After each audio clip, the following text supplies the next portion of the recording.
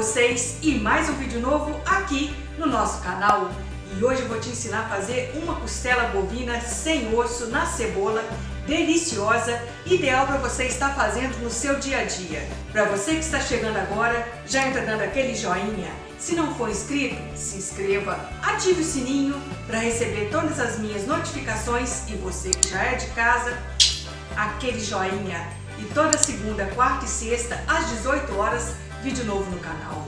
Aqui eu tenho 800 gramas de costela sem osso, que eu vou estar adicionando duas colheres de sopa de vinagre de vinho tinto, meia colher de sopa de chimichurri, uma colher de sopa rasa do meu tempero verde.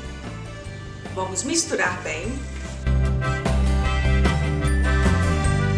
Em uma panela de pressão nós vamos forrar com seis cebolas grandes picadas em rodelas. Agora vamos colocar a nossa carne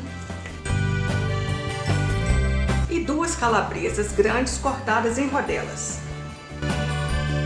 Vamos acender o fogo baixo, não é necessário colocar água, vamos tampar a panela e assim que levantar a fervura, botar 40 minutinhos e a nossa carne vai estar pronta.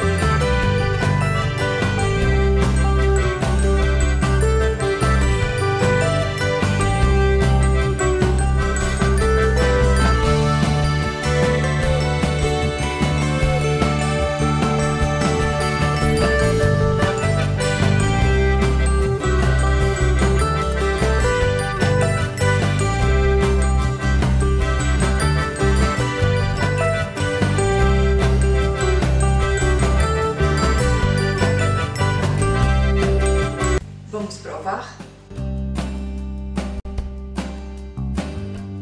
Delicioso! Espero que vocês tenham gostado. Um grande beijo e até a próxima!